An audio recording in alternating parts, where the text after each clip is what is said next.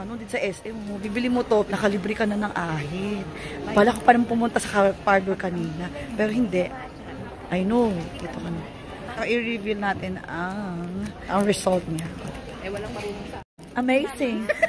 Kami mga syungak-syungak sa taga to, di, di dito mabuti na lang. May ganun pala, Diyos ko nakakagut.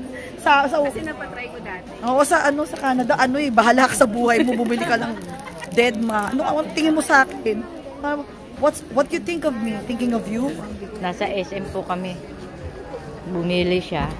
100 ang pera niya. Ang bibil ang bibili niya yan. Ha? Tapos yung kilay niya ang libre.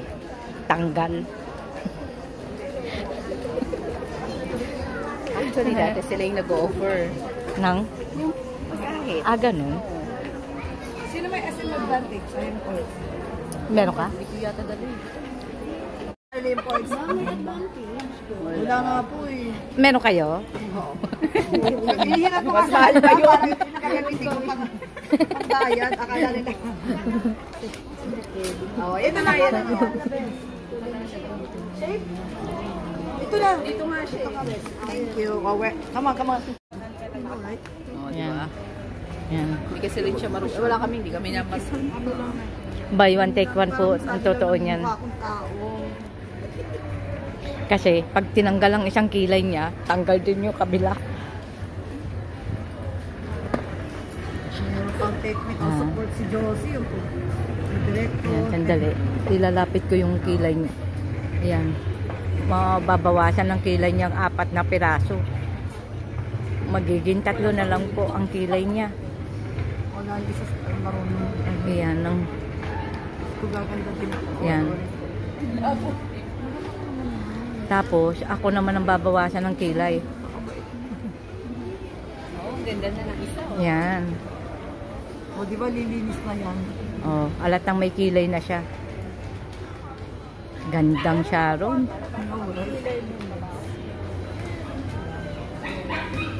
Dalagang dalaga.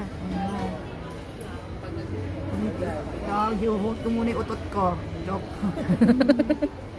hold pa more. Mm. Pero kung kaibigan ko, hindi ko to hold ng hato. kung kayo-kayo lang to, don't care. Kaso may ibang tao.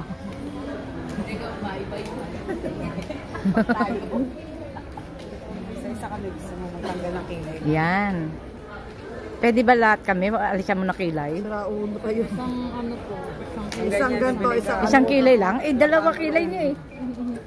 Isa lang pala. Hindi pala yung libre pa tayo. Bahala ka na sa buhay mo. Guide lang yung isa. May ano ka na, Ben, naka-guide ka. Ano mo, Oo, gagayahin mo na lang gagayahin sa mo na lang drawing. pala. Ganun pala. Ayan, gayahin mo na lang. Yan. Tapos, Tapos, syempre, napakiusapan namin, isabi mo na, ante, please, maawa ka naman. alpabeto pa naman tama. Ito lang. Ila- Maawa ka lang ng mga naluklok yan. Ayan. Ano pre-taste niyan? After 11 years kasi bago pa kami nagkita. Ay, 15 pala. parang rin. Hindi ko naman talaga kilala yung mga dyan. eh. Oo nga. Napulot lang kami sa kanto. Nakita ko lang sa kanto, tapos bigla lang nakapagkaibigan. eh. Oo.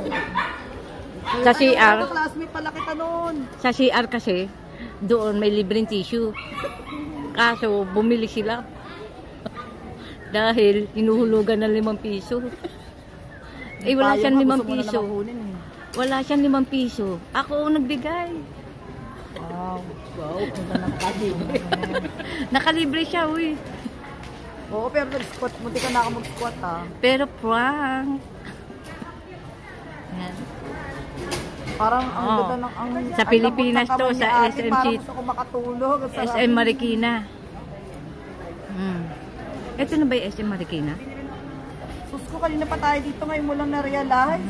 Eh kasi, ang daming SM na punta natin eh. Hindi ko na isa-isa eh.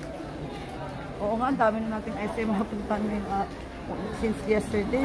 18, 19, 20. Bukas lang hindi ako pupunta na SM. Kasi uuwi ka na tangi. SM Iloilo na mararating ko nun.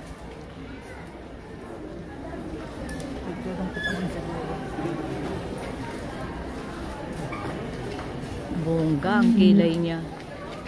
Apat na lang, nabawasan pa. nag-training ka talaga ng ganito, ate. Hindi. Hindi pala. Patay tayo dyan. Ha? Bigla natakot eh.